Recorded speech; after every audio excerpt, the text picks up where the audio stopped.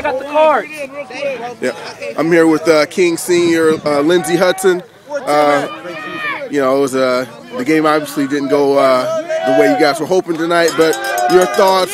First of all, what what, you, what did you take from the experience of you know playing a team that you know just won the, the last two uh, state championships? Um, well, we you know we um, got over the bridge that we can stop any team running like as you can see, like you know, most of the big plays are on passing downs.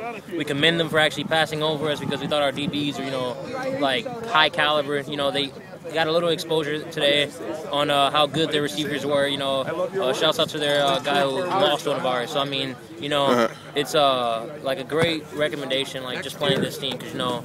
Like coming in, you know, of course I had a like a, a great hit about it because you know, with football game a football game. You got to play it with your heart, and tonight that's what we did you know, everybody played to the last whistle. And, you know, it's my last senior game, and that was awesome to play this type of team.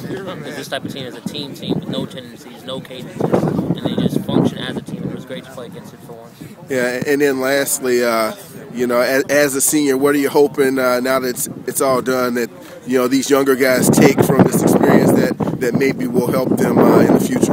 Um, well, I would just tell them, you know, it's a small the pride of they're a city team.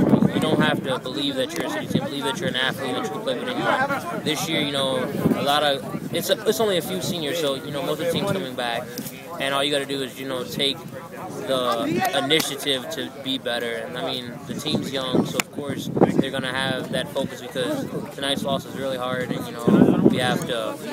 They have to push harder now. You know, I'm not leading the team anymore. Of course, I'm gonna come back for games next year, but it's all on them. They got to push harder than they ever did because they have to, you know, be better than we were this year.